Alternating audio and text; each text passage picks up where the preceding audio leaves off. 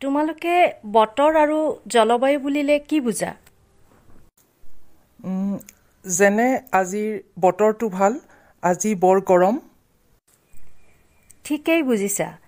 আৰু জলবায়ু বুলিলে আমি যে কওঁ শ্বিলঙৰ জলবায়ু গুৱাহাটীৰ জলবায়ুতকৈ ঠাণ্ডা। বায়ুমণ্ডলৰ তাপ চাপ আৰ্দ্ৰতা বতাহ বৰষুণ আদিয়ে সৃষ্টি কৰা সন্মিলিত অৱস্থাকেই এক নিৰ্দিষ্ট সময়ৰ বতৰ বুলি কোৱা হয়। বতৰৰ এই উপাদানবোৰৰ তথ্য বিশ্লেষণ কৰি বতৰ বিজ্ঞান কেন্দ্ৰবোৰে বতৰৰ আগজাননী দিয়ে।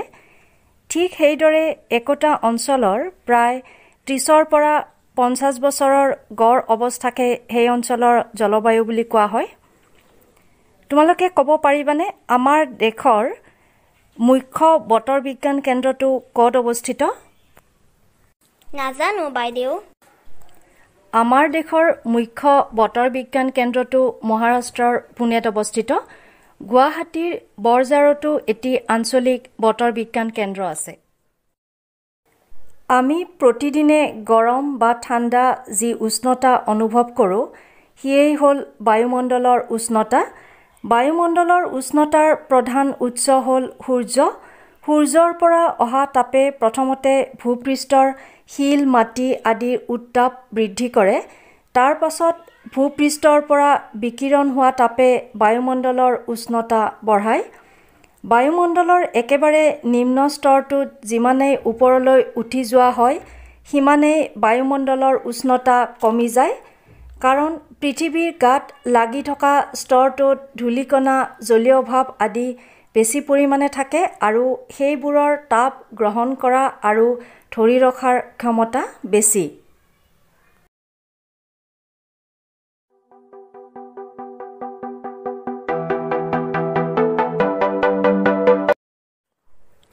বায়ু এবিধ গেছীয় পদাৰ্থ। বায়ুৰ ওজন আছে আৰু সেই ওজনৰ হেঁচাকে আমি বায়ুৰ চাপ বুলি কওঁ। এই চাপে কোনো বস্তুৰ তল ওপৰ আৰু কাষৰ পৰা ক্ৰিয়া কৰে। বায়ুৰ চাপে কোনো ঠাইৰ বতৰ নিৰ্ণয় কৰাত গুৰুত্বপূৰ্ণ ভূমিকা লয়। বায়ুমণ্ডলৰ নিম্ন স্তৰটোত যিমানেই ওপৰলৈ যোৱা হয় বায়ুৰ চাপো কমি যায়। সেইদৰে উষ্ণতা বৃদ্ধিৰ লগে লগে বায়ুৰ চাপ কমি যায় আৰু উষ্ণতা কমি গ'লে বায়ুৰ চাপ বৃদ্ধি হয়। এতিয়া তোমালোকে ক'ব পাৰিবানে বিষুৱীয় অঞ্চলত বায়ুৰ চাপ কম হোৱাৰ কাৰণ কি? হীৰক তুমি কোৱাচোন? আমি জানিলো যে উষ্ণতা বৃদ্ধিৰ লগে লগে বায়ুৰ চাপ কমি যায়। বিষুৱীয় অঞ্চলত বায়ুমণ্ডলৰ উষ্ণতা বেছি। সেয়েহে তাত নিম্নচাপৰ সৃষ্টি হয়। তোমালোকে সুন্দৰভাৱে বুজি পাইছা। এতিয়া পংখী তুমি কোৱাচোন? মেৰু অঞ্চলত বায়ুৰ চাপ বেছি হোৱাৰ কাৰণ কি? মেৰু অঞ্চলত বায়ু শীতল সেয়েহে তাত বায়ুৰ চাপ বেছি।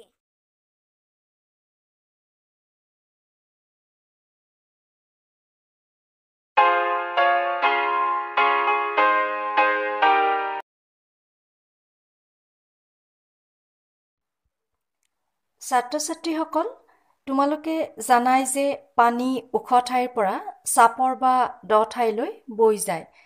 ঠিক তেনেদৰে উচ্চ চাপ অঞ্চলৰ পৰা বায়ু নিম্নচাপ অঞ্চললৈ গতি কৰে। বায়ুৰ এই গতিকে বতাহ বুলি কোৱা হয়। এই বতাহে কোনো ঠাইৰ বতৰ নিৰ্ণয় কৰাত গুৰুত্বপূৰ্ণ ভূমিকা লয়। ভূপৃষ্ঠৰ ওপৰত বিভিন্ন কাৰণত বলা বতাহক তিনিটা ভাগত ভগাব পাৰি যেনে নিয়ত বতাহ সাময়িক বতাহ স্থানীয় বতাহ ইত্যাদি।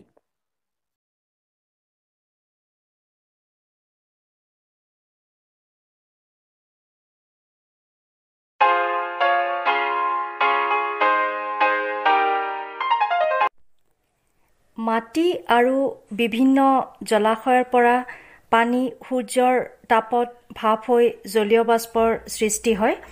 জলীয় ভাপবোৰ বায়ুমণ্ডলৰ ওপৰলৈ গৈ লাহে লাহে চেঁচা হ'বলৈ ধৰে। ঘনীভৱনৰ ফলত বায়ুমণ্ডলত থকা জলীয় ভাপবোৰ পানীৰ কণিকালৈ ৰূপান্তৰিত হয় আৰু পানীৰ সৰু সৰু কণিকাবোৰ লগ হৈ আকাৰত বাঢ়ি পানীৰ টোপাল হয়। পানীৰ টোপালবোৰ গধুৰ হৈ পৃথিৱীৰ মাধ্যাকৰ্ষণ শক্তিৰ প্ৰভাৱত অধক্ষেপণ হিচাপে পৃথিৱীলৈ নামি আহে ইয়াকেই বৰষুণ বোলা হয়। উৎপত্তি অনুসৰি বৰষুণ চাৰি প্ৰকাৰৰ।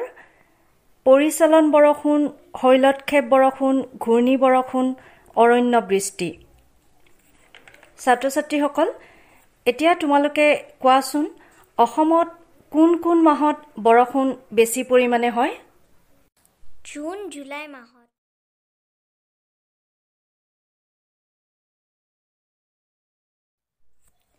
আমি বতৰৰ কাৰকসমূহ জানিলোঁ।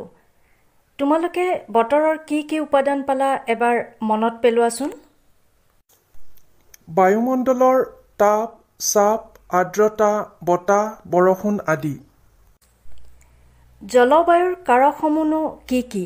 যাৰ বাবে আমি ভূপৃষ্ঠৰ বিভিন্ন ঠাইত বিভিন্ন প্ৰকাৰৰ জলবায়ু দেখিবলৈ পাওঁ।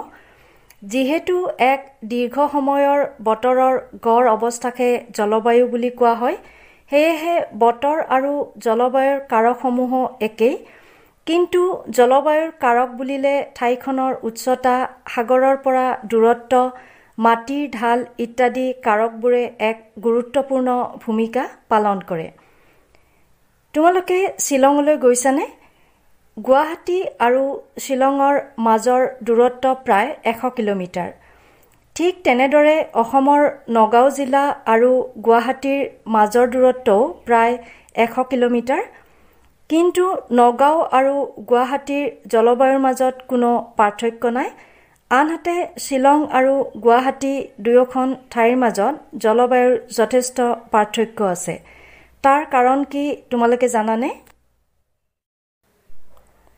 শ্বিলঙত গোটেই বছৰজুৰি ঠাণ্ডা অনুভৱ হয়। ইয়াৰ প্ৰধান কাৰণ হ'ল ঠাইখনৰ উচ্চতা। শ্বিলঙৰ উচ্চতা সমুদ্ৰপৃষ্ঠৰ পৰা ষোল্লশ মিটাৰ হোৱা বাবে জলবায়ুৰ ক্ষেত্ৰত এনে পাৰ্থক্য দেখা যায়। জলবায়ুৰ কিছু কাৰকৰ প্ৰভাৱৰ বাবেই ৰাজস্থানৰ থৰ এখন মৰুভূমি ইয়াৰ অন্তৰ্গত জয়ছালমাৰ আৰু বিকানীৰ বৰ গৰম ঠাই আনহাতে জম্মু কাশ্মীৰৰ দ্ৰোজ কাৰ্গিল আদি অঞ্চল বৰ ঠাণ্ডা। সাগৰৰ পাৰত অৱস্থিত বাবে মুম্বাই আৰু কলকাতা চহৰ বেছি ঠাণ্ডাও নহয় বেছি গৰমো নহয়।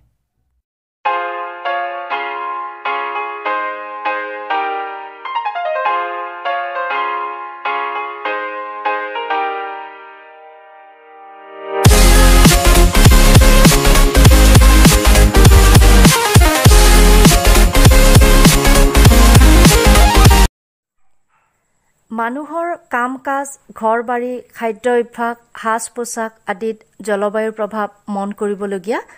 কৃষিৰ বাবে উপযোগী জলবায়ু অঞ্চলত মানুহৰ প্ৰধান বৃত্তি হ'ল কৃষি। জলবায়ুৱে বাসস্থানৰ ওপৰতো প্ৰভাৱ পেলায়। বৰষুণ বেছি হোৱা ঠাইবোৰত ঘৰৰ ঢালবোৰ বেছি থিয় বা এঢলীয়া। মানুহৰ খাদ্য অভ্যাসতো জলবায়ুৱে প্ৰভাৱ পেলায়। সাধাৰণতে এটা অঞ্চলত সহজতে হোৱা শস্য শাক পাচলি ফল মূল আদিৰ ওপৰতে সেই অঞ্চলৰ মানুহৰ খাদ্য অভ্যাস গঢ়ি উঠে।